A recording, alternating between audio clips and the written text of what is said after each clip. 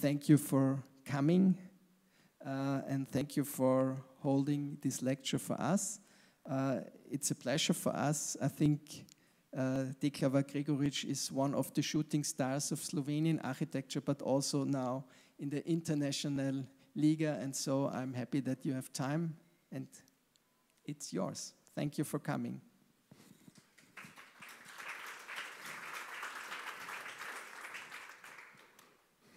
Thank you, Volker. Voila. So, uh, first, thank you very much for uh, this invitation, uh, Volker. I think it's uh, really a pleasure to be in Vienna again, uh, this time to share with you our work and how we progress in making architecture in our relatively small architectural studio.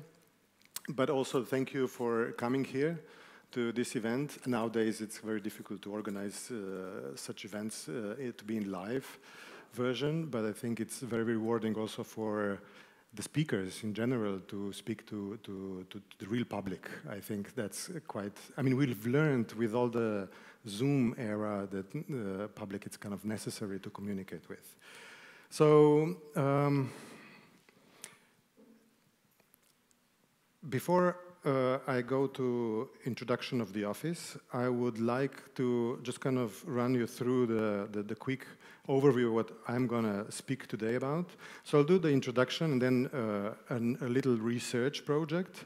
And then I kind of packed four projects per topic. One is experimenting on homes, and the other one is improving society. And I'll, I'll end up with, uh, with a learning from our built buildings, which is which is the research on nanotourism that we are doing um, for the past seven years.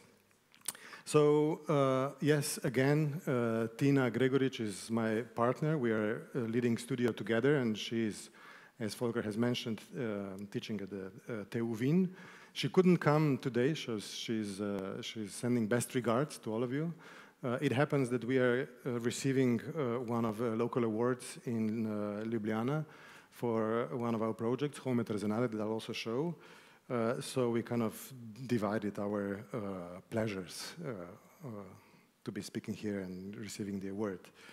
Uh, our practice runs since 2003, and we are a relatively small architectural practice. We've never been bigger than 10 architects, but only architects. Um, and we kind of work mostly in Slovenia, but we also have some projects abroad. So this is uh, the diagram, a sketch of a cloud where uh, the two of us are kind of involved. Uh, we try to kind of map up what we are really doing, and we figured out that teaching, practice, and research, uh, although they might seem to be different fields, they very much intertwine uh, between each other, and they produce this kind of cloud of operations. Uh, at the same time, this is uh, a timeline where, where, where, shows kind of our uh, way of working as, uh, as, as the office. This is kind of a, the, the, the, the, the, you know, the line in between. But um, you know, the teaching and the, the, the, research, research kind of ending up in publications, the teaching being, uh, being either in TU Wien or at the AA when I'm running the A Tourism uh, visiting school. It's kind of intervening in between uh, the built work. So I need to show this slide. I mean, you all know and are aware about this, but I would like to say that Ljubljana and Slovenia are positioned on the crossroads of Europe, um, in between East and West, and of course also between North and South. And throughout the history, we've been part of uh, political uh, and diverse cultural backgrounds. I mean, uh, starting with uh, Roman Empire, Ljubljana, Emona was kind of first uh, Roman settlement, and then uh, Napoleonic uh, Illyrian provinces, uh, of course, Venetian Republic, Austro-Hungarian Empire that we all share in our history, and this kind of social political experiment of Yugoslavia for 60 years. So um, we, are, we, we, have all these kind of layers being there in our, in our um, uh, area that speak about uh, our past and the very diverse cultural um, effects that we are kind of consuming uh, while living there. Uh, so our cultural milieu, milieu is also kind of very fixed on, on where you can travel by car. And today, when taking an airplane is kind of really difficult. The, what you reach with the car, it's kind of important. And, and that you can be in five hours in Milan, three hours and a half in Vienna, in Split in four and a half hours, reaching you know, some most beautiful islands in Europe. It defines also uh, our way of uh, thinking and working as architects. Um, so it is contextually diverse from Mediterranean to the Alpine. And as it was pointed out in a detail magazine, uh, we kind of strive to conceptually develop each project as a unique response to specific context. And that context can be either spatial, material, historical, typological, climatic, etc. And uh, therefore, we are not really developing a style, but rather a systematic design approach. And if you want to kind of see this uh, photo diagram of the buildings we've built uh, up till now, a selection of those, the buildings vary uh, very much in appearance, but they all come down to the same, in a way, process of thinking. And we very much operate with sketching, which is, in a way, a tool for thinking, but at the same time, we also work as a, as a group, uh, first as a couple and then as a group a, as in the office. And we use regular modeling as a tool of discussion. So at the end, we are constantly asking ourselves the question of how to challenge the obvious and how to act beyond the standard. Um, so there are no standard situations, and therefore there should not be any standard solutions. Uh, one very important thing is that we very much kind of uh, see the architecture being a discipline characterized by materials. And challenging those materials with exposing their primary natures is one of our focuses. As well as the architecture as experience. We think that at the end, the architecture does not really exist uh, if there are no users to, to use this, the people who are actually inhabiting this architecture. So the user is the main uh, focus of uh, how we do architecture. And the third set of, uh, of, let's say, what defines us as architects is our architectural legacy that we have in Slovenia. Of course, starting with Plečnik as kind of the, the, the father or godfather, if you want, and then moving back uh, further down to, to uh, Edvard Ravnikar, who in a way kind of established the school of architecture as we know it today, although it was before, but as a school of thinking. And then a series of uh, his contemporaries, a little bit younger, modernist architects that have uh, made modernism contextual in a way for Slovenia and quite different than the one you can find in uh, other countries around Europe. So just to show you a couple of images, you know this building is a University, University National uh, Library. Um, but uh, you also know this one, which is the, the, the, the, two towers in the center of Ljubljana of Edvard Ravnikar. And somehow you can trace back what Ravnikar was doing as a modernist through Plečnik back to uh, Otto Wagner and the Viennese uh, school. So in a way, this kind of genealogy is linked to here where we are sitting today. Uh, and of course, even back further on to the theory of the material exchange with God, of Gottfried Semper that you can read in the buildings of Ravnikar and other modernists still in, uh, in modern buildings today in Slovenia. That's an example of uh, Otto Jugovec, a, uh, holiday home kind of compounded out of two prefabricated uh, trusses of the bridge for the roads, but being kind of thrown into a, into a context of a rural environment with a double pitched roof. Or another example from Otto Jugovec, where the roof was a project to protect archaeological remains in the middle of the field, using only rural traditional materials, but with an inventive contemporary structure to provide the minimal impact on the ground. And another very important architect, and when I started to study architecture, I was part uh, of his studio in the architecture school in Ljubljana, is Stanko Kristl, um, who brought, in a way, the humanism into Slovenian modernism. This is a kindergarten, scaled and structured to fit the perception of kids. And another building uh, where clearly shows the authority of structure, uh, that structure becomes architecture and creates the narrative of the building's uh, program. So all of these, they were, they were also exhibited, or most of these projects were also exhibited uh, in the recent uh, um, international exhibition called Concrete Utopia in uh, MoMA in New, Year, New York. So let's start with the project. So I've, um, well, the, the, the, home. Home is a very important topic for architects as it's kind of prevalent uh, built structure. And uh, we had an opportunity to be selected, uh, Tina and me, as the curators for the Slovenian National Pavilion for Venice 2016 Biennale, when Alejandro Aravena was uh, the main curator.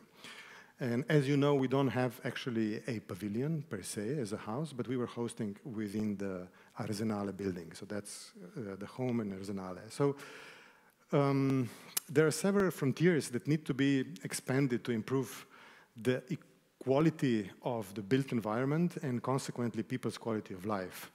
Um, this is what Aravena was kind of giving us to, to, to, show how we can improve the quality of life. And, and, and we kind of took this quote, but also his work in housing, um, uh, referring to Quinta Monroy, uh, where he was doing this kind of half of a good house.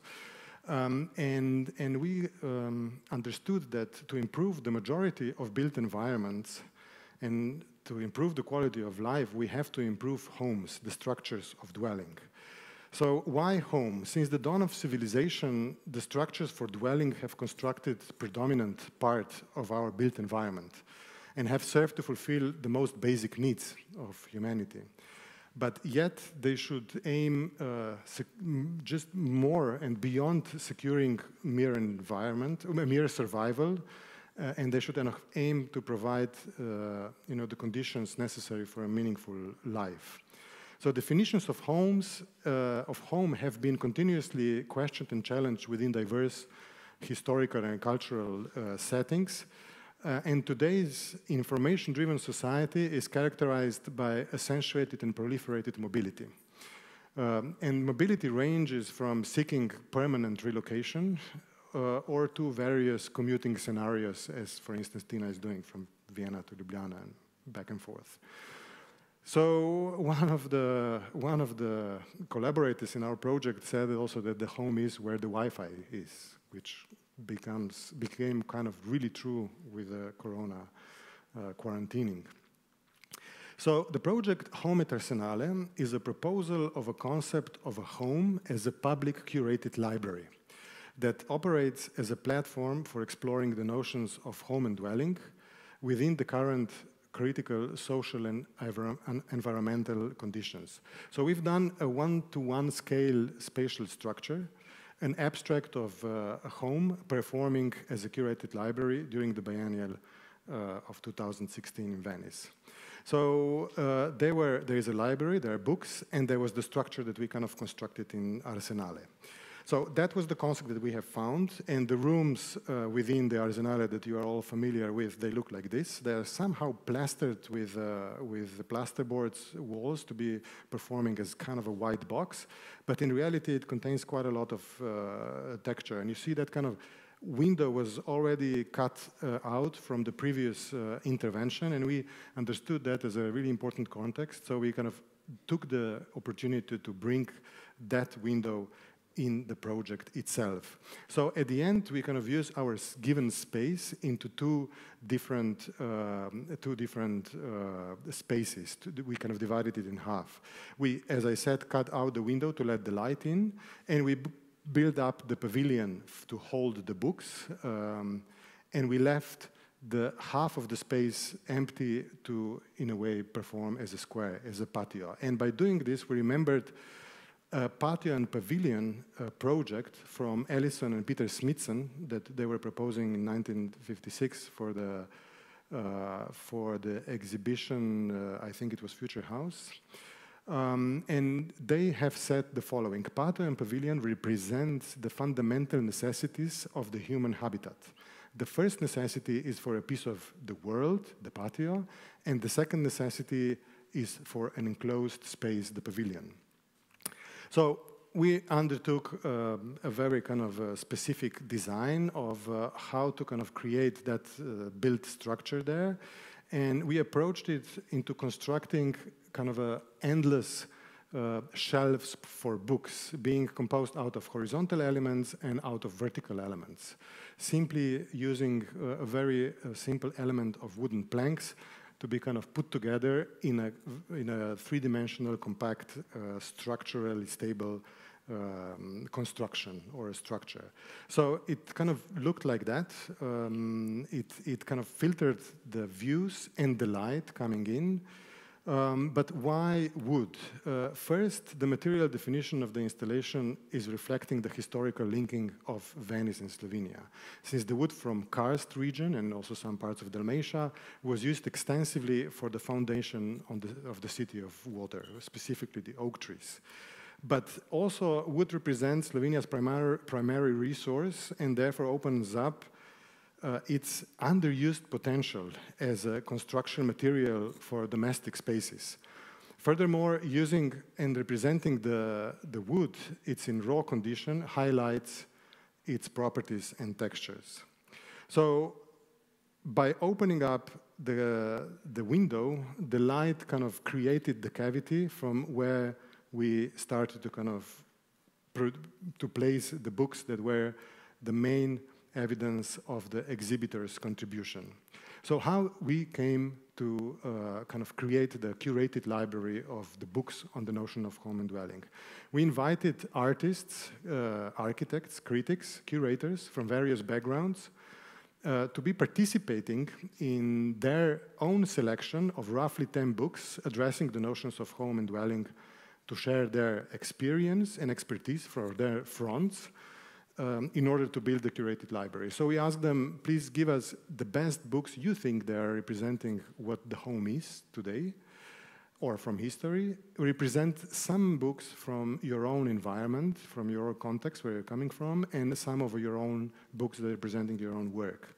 So the list of, uh, of uh, invited uh, participants, it's, it, I think it numbers like to 27 uh, different professionals. As I said, not only architects, but also writers. As an example, uh, a design critic, Alice Rawsthorn, or uh, Konstantin Grcic as a, as a, furniture designer, as he is also in a way with his work defining what home is. And we ended up with these kind of piles of books that we went out and bought almost all of those books from eBay, Amazon, uh, bookshops, uh, different kind of more obscure auctions, and so on.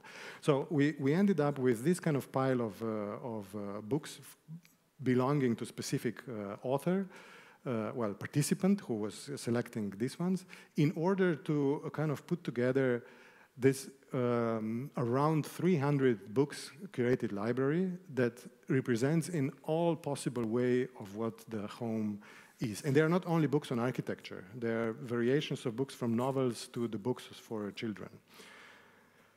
Um, in addition to that, this kind of home at Arsenale as a curated library also became an event space or a home for one day for each of the uh, participants that were participating to this uh, uh, library. So here you see a selection of uh, people that have been creating um, uh, that we have kind of made the interviews with them, and it's going to kind of end up in a book that is still in the production, or events that uh, have been kind of organized throughout the, the, the biennial um, in, in the context of each individual uh, participant that could do whatever they thought it was kind of relevant to discuss uh, home.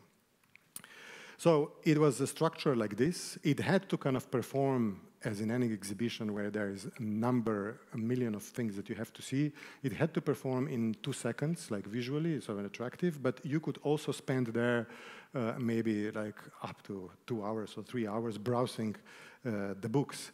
And um, so many uh, architects, our colleagues, which we highly uh, uh, value and, and, appreciate, they came in, and although they're super knowledgeable, they kind of discovered a book or two that they didn't know about. So this was, in a way, a very good uh, feedback and a pleasure uh, of, of ours.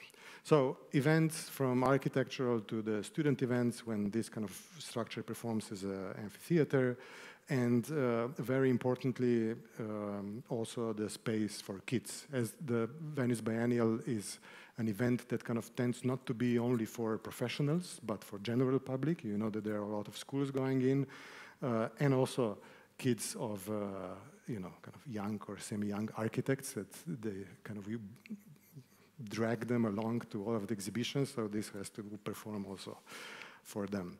So the the pavilion as such as the wood, we kind of put it together. It's kind of zero waste concept, and we brought it back to Ljubljana, as well as books. So most of the budget, which by the way, it's the same amount that the Republic of Austria is spending only for the opening, went into buying those books as the, as the main kind of knowledge that we kind of bring back to the Museum of Architecture and Design in Ljubljana. And that was a version of that same material and these books being exhibited in a, in a, in a temporary stop at the Bio uh, 26, the Biennale of Design uh, last year that was in Ljubljana. So now all of these books, they're made there being uh, in the museum for public use.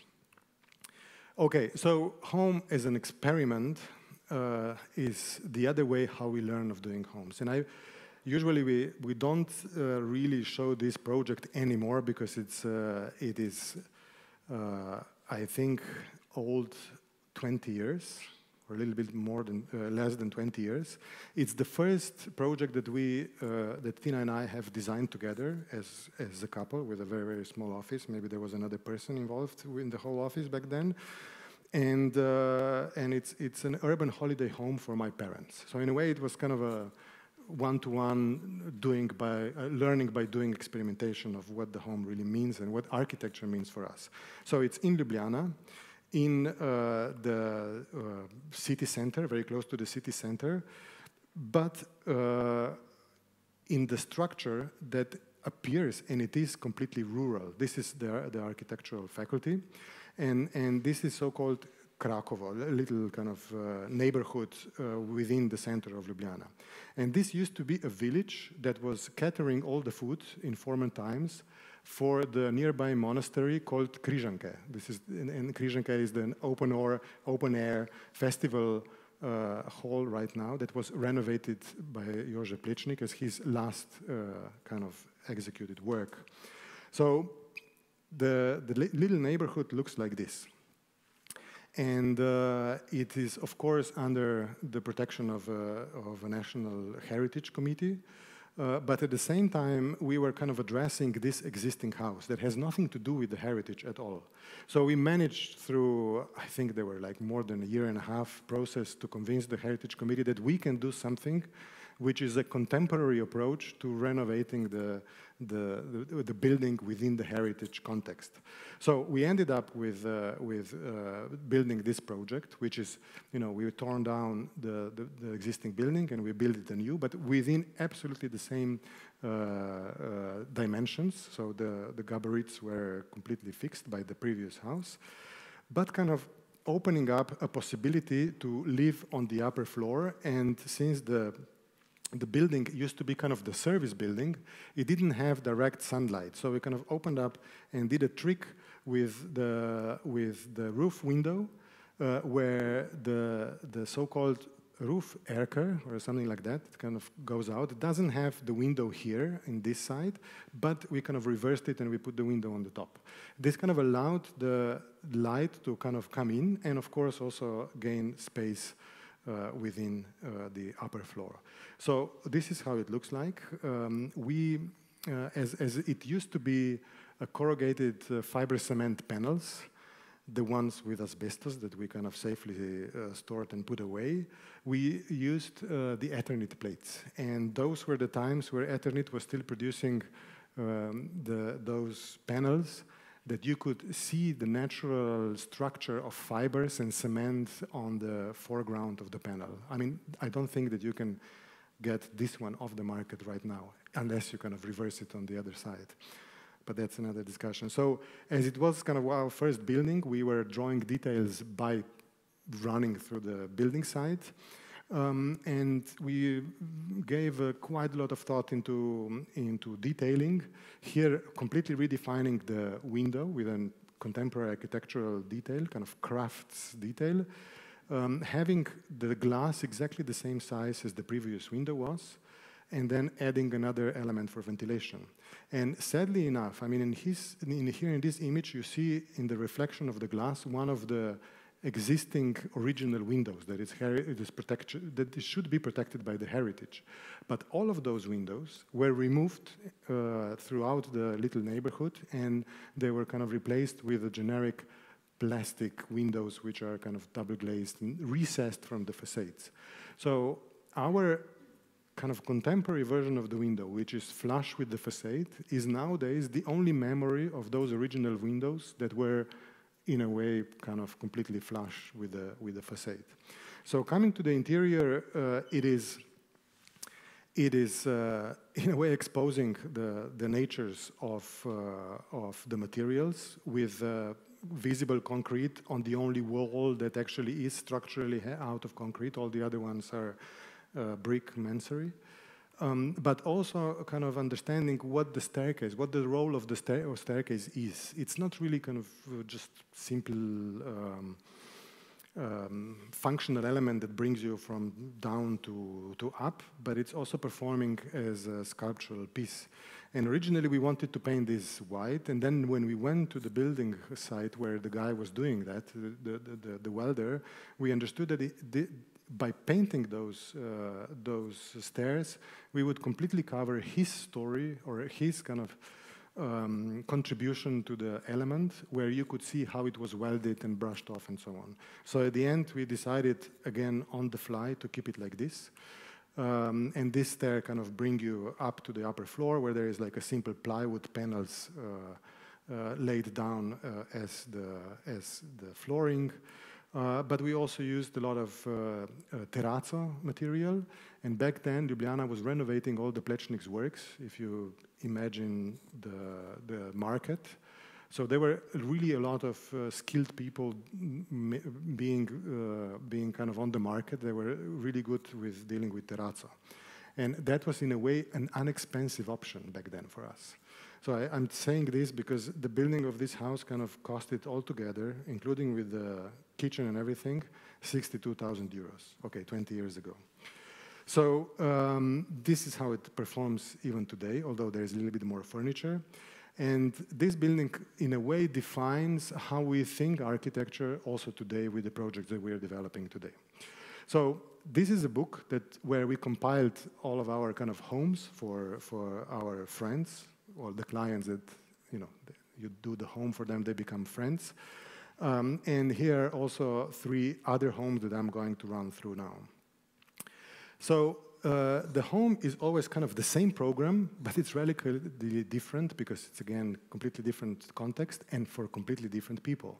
So here is just a, an experiment of running through these three homes in a parallel where you see that they are different because they have three completely different contexts, completely different in a way cultural background, uh, three different types of, um, of references.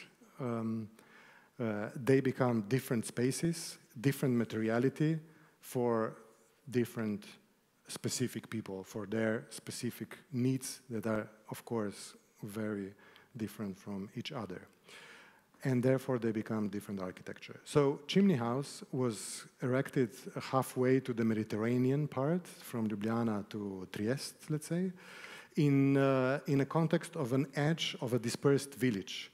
And this is, um, this is what defines this house what it is. First, the couple who, who we made this house for, they were really keen on cooking uh, with the original or the traditional stove on fire.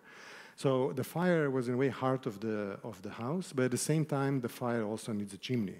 So the chimney is always, it, here it was kind of extracted as something that defines the, the shape of the house. But on the other hand, the cultural context, we found really nearby a barn. And here you see this picture of the barn, and you see it here behind, which kind of defines the materiality of the outdoor envelope in order to kind of fit in the village.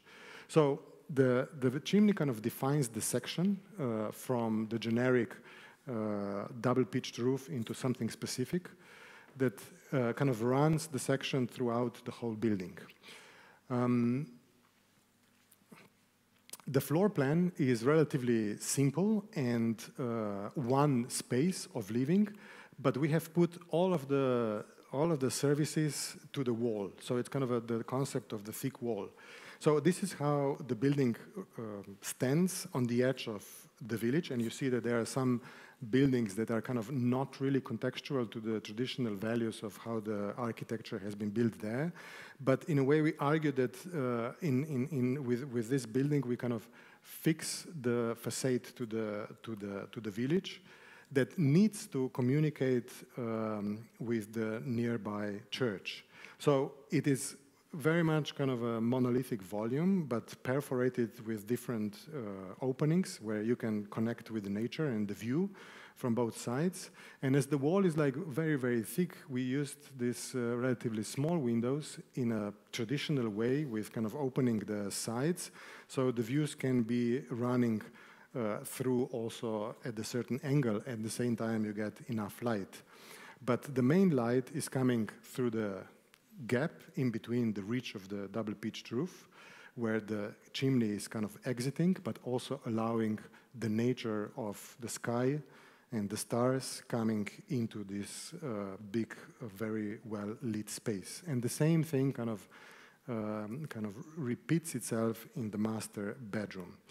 Um, so materially wise, we wanted to kind of run the same material since here up you, you, you, it's a piece of the facade and here it's a piece of the facade and it has to be kind of continuous with the roof. Um, and we took uh, larch and we stained it with uh, dark, almost black oil with only one go, so it kind of uh, makes this uh, a little bit um, variating um, already worn off um, color scheme. But at the same time, we used inside oak for the floor and all of the cupboards. Um, these are all surfaces that you can touch, that you have tactility with, with when, when you're living. But the, the, the, ceiling or the slab, which is performing as a one huge truss throughout the building, uh, it's out of concrete, obviously, for the structural reasons, but we kind of imprinted uh, some wooden planks on there, so the texture of the wood is kind of wrapped all around. So eventually your gaze turns up to the, to the sky, where you also get the light in. So the second house for, for, for another person is a compact karst house being already placed at the Mediterranean in a completely different context of the church. The karst region, as you might know, it is uh, characterized mostly by, by, by stone and by, with this kind of very compact uh, villages that are protecting themselves from uh, the wind uh, called burja or bora, um, and we were kind of faced with this kind of a, landscape. But at the same time, the typical karst house, it is almost as a manifesto of monomateriality. Even the ducts of the water, they're done out of stone. Um, there was practically, I mean, all of the wood went to Venice, so the stone was what was left. Um, and, but the other, on the other hand side, it is also a very small volume, just kind of protecting the people living there from the environment. And we took this material context and this kind of mono-volume context into the building that we have designed. It's a very small one and compact with, uh, with a floor plan like this, where the space flows through in, in, in perpendicular way and the programs are kind of laid down uh, in an axial way with two uh, little kind of private spaces that you can call bedrooms uh, in upper floor and the shared space in between. So as this is one volume house, it also kind of repeats a mini house within with a smaller volume. So this is how the family is living now there with a kitchen on one side and the main space that kind of connects to both sides of the, the nature and again, the staircase is something that kind of exceeds just the mere function of going up, but it doubles as a little library for the work uh, office space. And when you go up, you have this kind of shared space where kids can do their, well, they started with one kid, now they have two, and we are making plans for another house, will it be bigger? So they are here in a shared space, but um, when you kind of enter into the room, you face yourself with the same kind of very traditional double pitched roof that actually within your room, private room, represents the same, uh, the same volume as you kind of understand outside as uh, the identity of this house. So it is, it is a very compact, small house with uh, an interesting take on the materiality. Of course, it is out of stone, but not in the way, in, in traditional way, how the stone was kind of laid together to be also structural. It is a combination between uh, concrete and stone that I'm going to explain. So first, the roof. Uh, the roof traditionally was made out of platy limestone, and that's, that's a resource which is kind of protected nowadays, geologically. So you cannot get it anymore. So we kind of figured it out how this, uh, this, this platy limestone, uh, which kind of goes on the roof as a, as, as a covering element, can be reworked in a contemporary material, which is concrete. So we made this kind of steps. We made a couple of uh, experiments, and then we kind of laid out the, the steps one by one each day in order to create uh, the same, let's say, uh, mechanics of the water going down, using all the kinetic energy to not overflow uh, from the edge, but kind of go into the, the gutter at the edge of the house. Um, with with uh, the stone on the facade, as I said, we are challenging the material on site. So that stone that was found by the excavations was not really cultivated stone, but it was easy to find one relatively flat surface. So we made the formwork, uh, as you see here, and we kind of used those relatively small, semi-big stones to put them with a flat face on the, on the formwork and put the concrete in the back. So in that sense, we have got this uh, uh, complete, uh, in a way, monolithic house that kind of combines the concrete as a modern stone, although it's a little bit a cheesy word, and the stone itself to present a monomaterial uh, version of the contemporary local building, let's say. So the third one is a cliff top house on Maui. So we are moving to a completely different part of the world, to Hawaii. It's 12 hours time difference. And obviously the context is completely, uh, completely changed. Uh, Maui, it's, uh, it's a surfer's paradise, especially North Shore, where the trade winds are coming in. Uh, the, the surfers are being here uh, the most popular uh, population in a way. No? Um, so our client and a friend, Robert Stroj, he is a designer of NeilPryde uh, um, surfing sails that some of you might be familiar with. And obviously, as NeilPryde is a very big uh, corporate, well, global company with based in Hong Kong and production in China, the research laboratory is on Maui because it, the wind is good for testing every day. So Robert went around and found uh, an interesting plot for uh, his house to be built, and they gave us a reference. I mean, there was a brief of one page of you know describing I need the bath, bathroom, bathroom, bedroom, bathroom, kitchen, and so on and so on. So a generic material, but uh, um, generic brief, but at the same time also an interesting reference to Frank Lloyd Wright's uh, Carmel uh, building in uh, Walker's, Walker's residence in, in Carmel in California. Um, starting from Frank Lloyd Wright, understanding what are the important uh, features of you know flying roofs and the floor plans which are using 60 degrees ang angles, we we went there and analyzed of what the site could give us. So we kind of try to create certain direction of where you see the, the, the, the, the view of the ocean, where you see the view of the mountain. And we came up with this kind of very conceptual model of private spaces being enclosed by these uh, three walls, a little bit kind of opened up, so you, you, are more part of the outside than the inside, and the in-between space that uh, was supposed to be, in a way, the outdoor, indoor living. So on top of everything, we kind of placed a roof which is kind of just combination or kind of connecting all of those spaces underneath, becoming a version of uh, landscape, not literally, but more in a metaphorical way. So the building uh, works without any mechanical um, uh, appliances. So we are using trade winds to ventilate the, the space. But at the same time, being constructed with this kind of mini volumes can work as a family home where every member of the family has its own room, but it also works as a mini hotel. You can imagine that quite a few people are visiting Maui very often, and uh, up to three families can live in this building with normally kind of sharing the spaces of uh, living, but being in private enclosed spaces um, individually. So these are these spaces the, that are kind of enclosed, including the, the, the, service spaces and the space which is which is uh, meant to be kind of indoor outdoor living, although it's covered with the roof but just glazed off. Uh, on top of it, this is 250 square meters, and there on top of it is 500 square meters big roof, which means that there is double the surface of outdoor space but covered from the sun and rain. So this is how it looks like. It doesn't really have a facade. We never really draw a facade because it only kind of represents itself by the roof.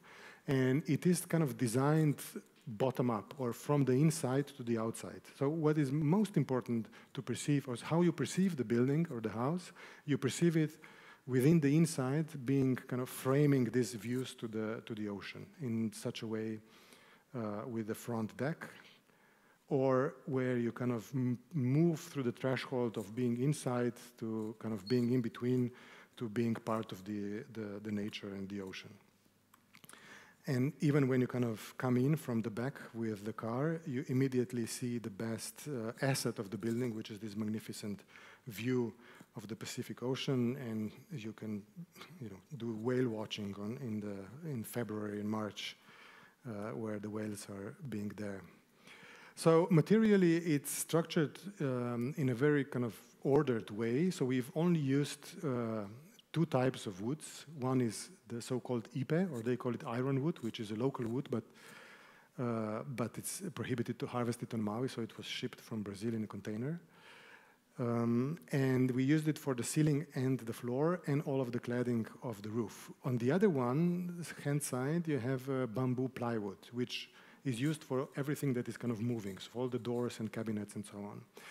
Um, and in between, these walls are being rendered with the, with the, um, with the render that actually combines a bit of limestone, a lot of uh, sa beach sand, and some cement.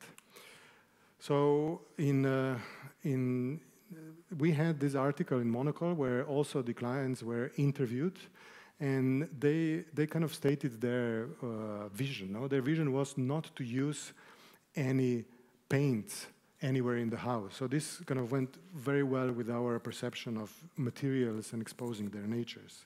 So this is how you see then the materials are kind of aging and kind of transforming themselves. So there's the same type of wood, but one being used inside with the oil and the other one being used outside again with the oil, but under the weather it performs completely differently. So eventually you get the ipe wood, which is a local tree that with time gains, gained the same, uh, the same chromatics as you see on the cliff down there. Although there are different materials, chromatically they become kind of one. So this is how this building kind of fits into the, into the context of this cliffy area. So eventually we ended up also on the cover of Dwell ma magazine with a meaningful name. Um, so this is now kind of about the home, um, but with homes, and although we've, done, we've done a couple of uh, collective housing projects as well, which I'm not showing today, um, we can improve uh, individual lives. But on the other hand, we are also kind of uh, obliged as architects to work towards improving the private, uh, sorry, the, the, the, public life. Um, and with public projects, we see the opportunity to kind of influence the society to change for the better through architecture.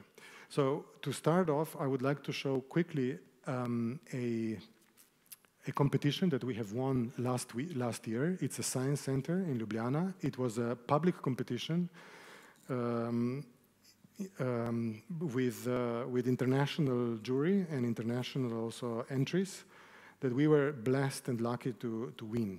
So it is on the, on the, on the edge of the, of the center of Ljubljana, the, the small house is here, um, in, in, in a way in this kind of triangular park.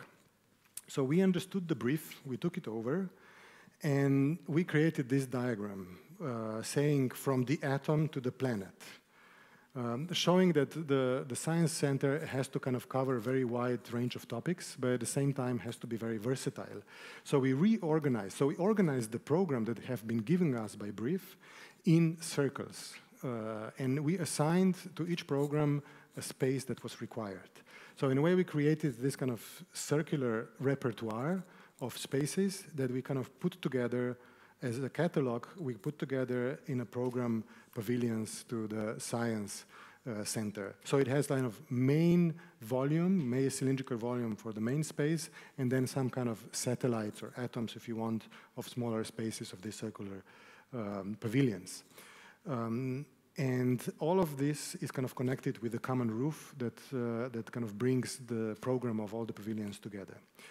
Um, it also has some sense because all of these color-coded programs, they can work either together in one entity or each one of them separately with separate timings, which means that as a science center can also kind of survive economically to even rent out pieces of their, uh, of their building. So it is uh, a public space. The ground floor is permeable public space that connects also to the the local community, to the other parts of the local city, and you enter into it like this. Um, and then we, on the competition level, we always kind of create a couple of sketches in order to show how the building works. That also work works from the other side when the kids are coming with the buses with organized uh, trips from schools. And the foyer can uh, bring all of these programs together, and you can decide which pavilion you are going to, depending on your on, on your wishes. Um, or to go up uh, to the terrace where it's already kind of the view to the castle. Ljubljana is so small and we have mostly one or two references for, for making the visual connection and castle is one of those with the castle hill. But also being on the terrace uh, with, uh, with the restaurant and, uh, and the Fab Lab, which kind of overlooks the main exhibition hall, and eventually you can kind of enter on the roof, which is an outdoor uh, science exhibition space that again connects to the context of, uh, of Ljubljana. So this is uh, how it's envisioned the big, um, the big um, exhibition space of sciences with the Fab Lab being kind of hidden in the trusses that, uh, that go over this huge span of 40 meters. So this is being now in progress. So next time when you visit Ljubljana, maybe in a year or two, I hope I can invite you to visit this building live. But to see how, uh, how we have done and trying to kind of influence society through our public buildings, I'm going to show you quickly these three projects. Um, starting with the metal recycling plant, an industrial facility where uh, the, the, the, where the on-site recycling of metals is uh, being uh, run. So it mostly uh, consists of one big plateau where all the machinery and, and, and all the recycling waste is being stored. And you know, the architecture in a way plays a very small, almost insignificant role. But it is two small buildings, and we have decided to do these kind of two buildings in such a way that uh, each one of those represents a completely different program and therefore also a completely different material. But in the size, they are the same. So in terms of the brief, it was very simple. The truck comes in, either brings some waste material or takes away some valuable materials. Uh, it being, it's being weighed, and uh, the, the building is in a way the control deck over that uh, process of taking in and out. So eventually also the waste overgrew the building and that's kind of a moment of insignificance of architecture sometimes. But as I said, there are two same, uh, same sized buildings in a completely different material because one um, is uh, only 100% metal structure and cladding because it contains um, all, uh, all the kind of soft programs, so all the specific programs that eventually might change with the technology. And the other one is a very simple and rough concrete building that houses a very generic program, which is a workshop to repair all the trucks and all the sanitary facilities for all the workers on the plateau. So in that sense, they already speak about the separation based on the different programs. So this is how it, uh, how it performs visually towards the public, uh, one being very kind of communicative, the other one being very silent, uh, but both uh, in a way serviced for the big plateau where the, the, the, the, process of recycling goes in. And there are these kind of long dimensions that we try to uh, also kind of incorporate in the building details. So here we were thinking about sustainability uh, more as a strategy, strategy uh, or ecological attitude, or as opposed to you know preferences over certain materials. And we thought that, uh, in a way, if the building is completely out of steel, the one that is going eventually to change to the technology of recycling can turn to this, to this, and back to this on the site, and there is another opportunity for another piece of architecture. So the second one is uh, campus, it's university campus in uh, a very small coastal town in uh, Isola on the top of the of uh, Istrian Peninsula, uh, where we also won a competition for the big campus that was housing from the communal programs like the, the, the, head of, of, of the of the university to several faculty buildings. Um, we took the reference of, um, of Freie Universität from Berlin, from uh, Candilis Josic uh, Woods, um, in that they were they were doing it in 73, which was embedding the concept of growing university because our uh, requirement, but also our proposal to the client was that the, the, the, the, um, the campus should not be one big building, but it kind of should grow out of smaller buildings in order to be also able to, to do it in phases. So this was the, the scheme that we proposed uh, of the faculty buildings being, being kind of laid out in a, in a diagonal way over the plot, but at the same time having these kind of gaps to allow the city to go through the university also being part of the city, not kind of enclosed campus. So proposing phasing ends up that we were only able to do the first phase, and that's only one building that we've kind of constructed. And as it, uh, as it is designed, it's kind of two slabs with two entrances, so the public can also go through the building uh, with, uh, with, uh, with this kind of foyer, and the two kind of cores that bring you up to the upper floors. And in the upper floors, you have this kind of public circulation with the elevator, with the two shared rooms, and then the facilities for the students. In the section, there are small two uh, um, lecture halls with the technology, uh, but the most important thing is that the people can kind of go through in a public way through this public uh, foyer with several uh, stories high uh, space in between. Okay, so this is how it kind of works in clearly Mediterranean context. That's why it's in a way very closed off and it shows two faces. One is very kind of uh, secluded from the sun and we've used these windows to be pushed out so we don't have any any shading outside with it would come to be operated, but the windows itself they provide they provide the shade from from the sun uh, from the south sides as they are uh, focus to the north side. On the other hand, this kind of a, a decomposed patio in between opens itself with a glass facade with uh, fixed louvers to, for, for, to allow the, the, visual communication within, within the building uh, itself. So an entrance, and then the, the public space with a double height floor, um, and we argued that the university as such, or this is a faculty for sciences, it kind of bases on communication between different departments to share their knowledge and discoveries. So all of the walls that are enclosing laboratories and uh, offices, they're out of glass. So eventually you can see from one side of the building to the other side of the building in order to promote this communication and share knowledge. So this is how it looks like with uh, the students being there uh, performing and the laboratories uh, being lit uh, with a very even um, dispersed uh, diffuse light.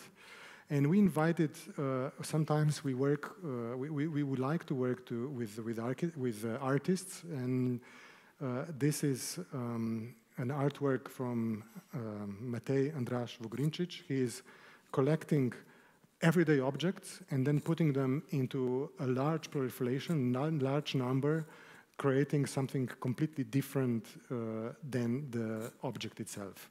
So we asked him to collect something that represents science, and he collected uh, in this way with the, with the graphite uh, pencil different types of measurements that you can find, find either on tape measure or on bottles or so on and so on.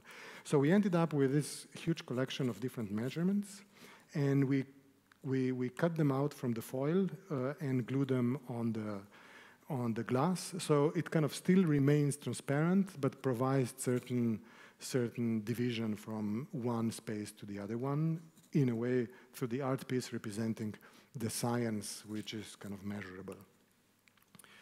Um, we use the, the, um, the local tree um, in, uh, in, in the big, uh, in the big uh, classrooms or, or, lecture halls, um, which is again not kind of lacquered at all, it's just simply oiled. And when you enter this, uh, this space, you have this very, uh, very kind of clear smell of, of the local pine tree. Um, it's kind of not very used material. The pine tree, it has a lot of uh, jinks and so on, but if you are using it in a way that uh, creates another atmosphere for you as a visitor, then it's a very, very uh, grateful material in such a way. Okay. So the last project I'm sharing with you is uh, it's a cultural uh, center for European space technologies. So this project has been designed and developed by four architectural offices in collaboration, which are Bevk Perović Architects, uh, OFIS Architects, Sadar Vuga, and us. And uh, we were kind of invited to approach to this, uh, to this building uh, firstly as, as a competition. And then at the end, we were kind of offered that maybe it would be an interesting moment to, instead of competition, doing a collaboration.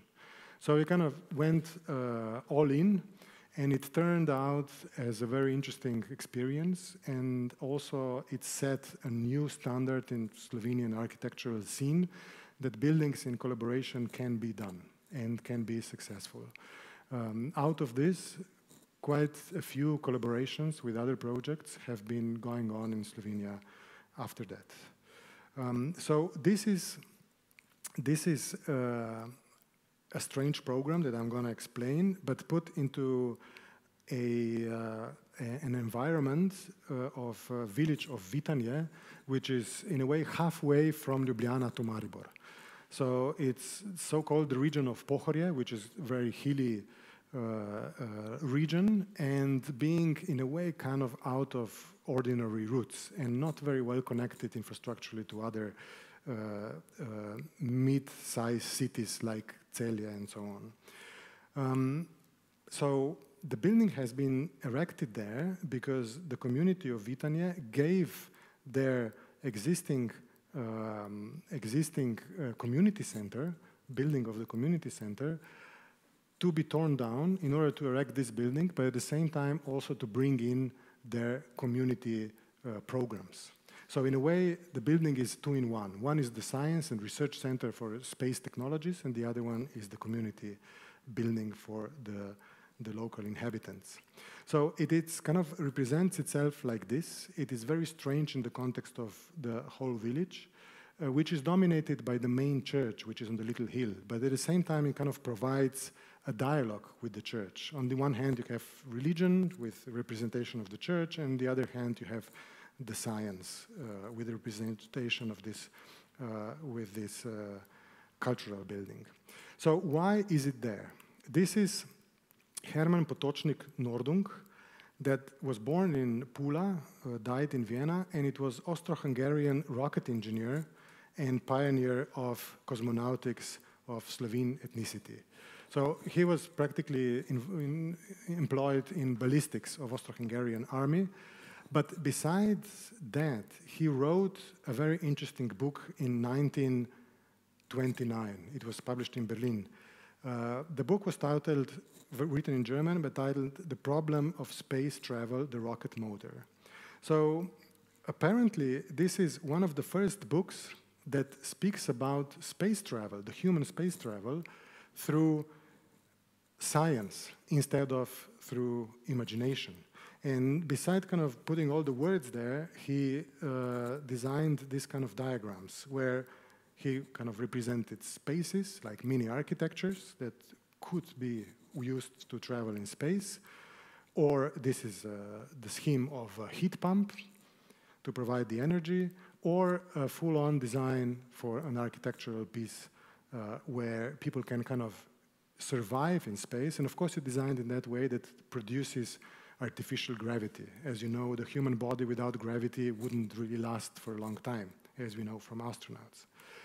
So that was the main uh, kind of diagram that we kind of took off as uh, four collaborating offices in order to represent it as in the building. So in a way, it was kind of an easy start that we decided that it's going to be round.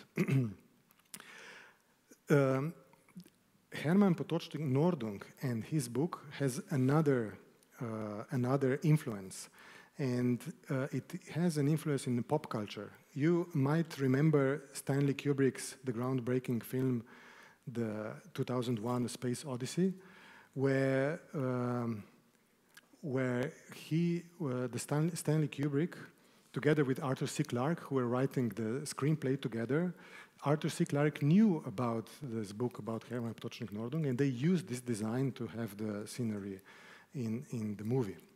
So that kind of brings Vitanje, who was kind of claiming that uh, part of the family of Hermann Potočnik Noordung originates from there, and uh, the book of, uh, of Noordung speaking about science, and this kind of pop culture uh, impression of uh, 2001 Space Odyssey compound a really kind of interesting um, connection within uh, Vitanje being somehow connected to the global society. So this is how the building represents. Let me walk you through.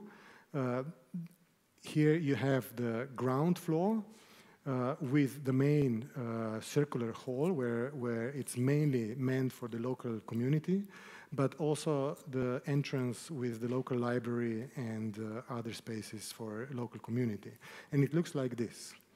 Um, then you have the exhibition space, which is kind of wrapped around the cylinder, and it's being tilted uh, in a ramp. So it challenges your notion of gravity. Because when we walk on the flat surface, we are absolutely not aware that there is gravity, and our body works hard in order to keep us straight. But as soon as you start walking on the, on the slope, you start to consciously know that there is something going on and you are aware about the gravity. At the same time, the space is kind of a never ending, which kind of revolves around the main cylinder. And then on top of the, of, uh, the, the, the big hall are spaces for space researchers with their own glass cubicles or cylinders that are kind of connected through the holes in the roof with the sky and of course getting the skylight in. So at the end, when you go through this building, uh, you end up your tour on the rooftop uh, where you can reconnect back to the, to the nature and the town of uh. But not to go down the same way, we have designed the, the fire escape, not the fastest way coming down, but it's orbiting uh, through the big cylinder in order to kind of touch ground on the other side of the building again, which is another experience of orbiting and you know kind of reaching different places of this building. So it's a complex uh, section which allows for such views to up or such views for the performances uh, seeing down. This is uh, Kodak, uh, a Swiss uh, performance group were singing on, on the robot hands where they're kind of moving their bodies and that's also how it performs a different way of uh, sound. Um, and and what, what is interesting at the end, when this building was erected, it attracted 24,000 visitors uh, first couple of years. And Vitanje, as a small town, has only 800 uh, inhabitants. So uh, we have identified an open need and also an exposed potential of Vitanje to become a case study for a set of bottom-up strategies and prototypes to challenge the conventional notion of tourism. So it was a mini Bilbao effect. And of course, it kind of created certain social tensions. So this is why we have started with uh, nanotourism as a topic of research in this building um, that is still running today. So that was seven years ago. Let me just say, to tell you a couple of things about nanotourism. So nanotourism is something that we have kind of put forward as a constructed uh, term describing creative critique to the downsides of conventional tourism. And I would like to say that it's not about scale, but it's more a projected ability to construct responsible experiences from the bottom up and using local resources. And maybe it's also beyond tourism, being more an attitude to improve specific everyday environments for visitors and locals alike. So this is in a way school, architectural school. Each year we are having roughly 15 to 20 students and each year we are creating some kind of mm, uh, um, um, well, examples of creating critiques, critiques towards the tourism as we know it with one-to-one -one prototypes that can uh, change your perception of visiting spaces. Um, this is our webpage where we have the repository of the projects. And I would like to show you a couple of uh, um, uh, experiments or prototypes, how we challenged the building and the Vitanje. Uh, so one uh, student group asked uh, themselves, what do we have in common in outer space and on the Earth? And obviously, these are basic human needs. And one of the basic human needs is sleeping. Um, and we sleep uh, at home in uh, two dimensions because our beds are flat. But the astronauts, or in space where there is no gravity, the sleeping is being performed differently. So it came to the notion of the 3D sleeping. So doing a couple of prototypes of how this could be done within the exhibition, like spend the night in a museum type of thing, to a prototype like this where you could be kind of hung in the middle of the space in a in a machine in a way that kind of connects all of your limbs together uh, in, with the equal weight. So it kind of creates this kind of weightlessness uh, uh, moment or feeling uh, for you to kind of experience this very strange way of sleeping or at least resting. So this is how it kind of worked and uh, it created this kind of uh, experiences or, or, or, or feelings. So KSEVT kind of became a hotel, as a very special version of hotel. And of course, this was a criticism towards the idea of uh, the mayor, who obviously, with so many visitors, wanted to build a hotel. And we tried to show it with this kind of very experimental and kind of artistic project that building a hotel, it's not the way to solve this problem or to kind of you know, make economy, that you have to make something specific, which is only possible there with this context. So the other project, and one of, we, we were there for three years. Another year, we were collaborating with a nearby winery, Zlati Grič, um, with uh, a sommelier who introduced us into the ritual of wine tasting. Uh, and this student uh, group was mapping down what are the steps of the ritual of wine tasting, and they created a completely different version of wine tasting when you don't need a glass, because the, in gravity, the glass is kind of, uh, where in zero gravity, the glass is useless. So they created this type of prototype of a suit with uh, tubes being laid out around your body, where you inserted uh, a glass of Cabernet Sauvignon into the system, and then you had to kind of perform a dance, moving your body almost as you were in the zero gravity space, in order to allow the wine to run through all of the tubes, to mix with the air and so on, to finally kind of give a sip. Um, another example was uh, was a dining experience in KSEVT, again in collaboration with uh, a chef of a nearby lo uh, local restaurant, but under the presumption that, again, what does it happen if we give way of all of the dinnerware, except for the napkin, as it happens to, to, to astronauts in space. So this student group, together with the chef, created an experience of dining within the building that uh, eventually, for the final jury, the chef came in and uh, applied on uh, you know just a memory of uh, of uh, dinnerware. Um, this is a mushroom soup uh, that it was kind of served with everything that comes together in such a way. And in the final jury, we were the test group in order to consume the, the, the, the whole uh, course uh, in a very special way, creating another opportunity of how you can combine local knowledge and a crazy program of a crazy building. Um, this is Jakob Traunik, who we are doing together the school, a nanotourism visiting school since uh, 2014. Uh, taking a bite of a local sausage. Um, so just to kind of finish up another minute, uh, it happens that we were doing the AA nanotourism uh, in uh, Vienna this year, uh, also with uh, Amanda Speger, um, who are both helping us to kind of do this uh, in, in Vienna. And we kind of teamed up with Vienna Design Week to do such an experiment here in Vienna. We just kind of ended up uh, last week with our final presentation. Uh, and some projects, or most of the projects, were running through also the program of Vienna Design Week. So what are the nano strategies for Meidling? Meidling as a focus district from uh, Vienna Design Week. So we were, I must say, very lucky, and uh, and um, yeah, I'm, I'm thankful that we were kind of able to pull off the program in life with uh, students, roughly well, 20 students working there together. An amazing uh, group of very ambitious students from TU, from Angewandte, uh, and from Academy, but also some coming from uh, Ljubljana. This time it was kind of relatively local. And we also kind of exhibited in one of the rooms of Vienna Design Week. So we've done five projects for students uh, for, uh, per group.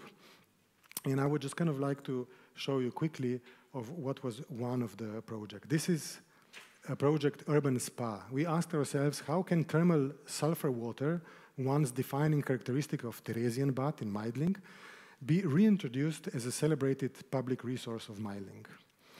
Um,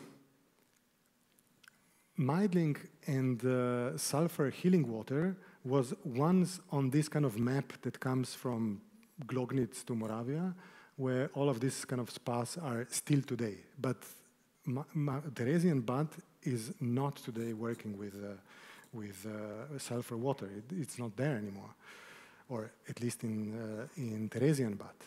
So, but when you walk around Meidling, you see all of these kind of uh, artworks, uh, historical artworks on, on the facades that speak about water and, uh, and the bath and uh, the sulfur water um, in a way to, to, to understand that the history was actually quite rich in having the sulfur water in Meidling.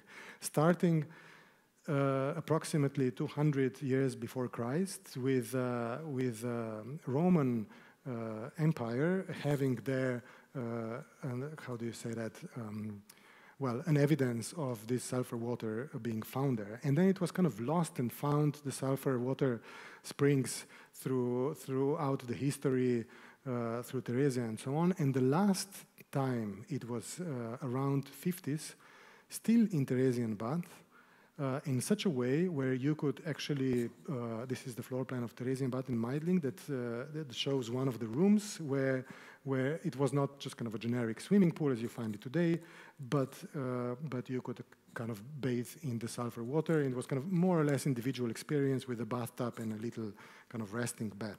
And as you know, Meidling is a very well, in my, the Theresienbad is kind of generic uh, swimming pool today, all those that still kind of retains the name of Theresienbad. So where is the sulfur water in Vienna or in Meidling today? In a way, half by chance, half by employing all the senses, the student group found the sulfur spring water in one of the building sites, the biggest building sites in Meidling, where the construction has not really started yet, but it has the big uh, excavation uh, building pit. And the water that is kind of flooding into that excavation, it is the one from the sulfur, and they are pumping up through a filter over the Meidlinger Hauptstraße uh, U-Bahn station and throwing it away to the Wienfluss. And this is how they found it. They kind of smelled it, the sulfur, into in, in when they were coming out of the of the U-Bahn. Uh, and the water, it's uh, it is by the um, by the list of the of the building site, actually the water which comes from the underground with rich with sulfur. So the student group kind of went into a research phase in order to understand what does this mean for Meidling, how you can represent it from being a wastewater of one building site to be a cultural representation of identity of Meidling, with several prototypes of carrying the water across the city to the Theresian bath, to trying to contain the water with the simple prototypes of, uh, of a red bucket over there, in order to come to a conclusion or a solution that they need kind of two elements, same elements. One is a information giving kind of semi, semi furniture, and the other one is a container of water. So this is what you find today when you go uh, to, to Meidling from, from U4. Um, where you um, meet this kind of furniture which is neither a bench nor a table uh, nor a performance stage, but it gives you information, uh, written information about the culture of sulfur water in Meidling. So the counterpart on the second object is down there next to the Wienfluss, which kind of catches the water and as the, the, the spring, the, this kind of mechanical spring of the water is not stable, it kind of runs for maybe two minutes and then there are like 20 seconds not running the water kind of clears out and you see the written statement there, this could be a spa. So this is a representation or at least kind of a, a artistic call for attention that there is still sulfur water in Meidling that can be used and can be communicated in, uh, in a very different way. So this has been uh, run uh, through the past weeks of, uh, of guided tours from uh, Vienna Design Week in order to raise awareness. And here on the right, it's the student group that has kind of created this project. And the project was in a way, a very good prototype for some uh, Meidlingers or maybe Viennese inhabitants to, uh, to uh, rediscover the sulfur healing spa in Meidling and its own identity. So thank you very much for your patience and bearing with me tonight.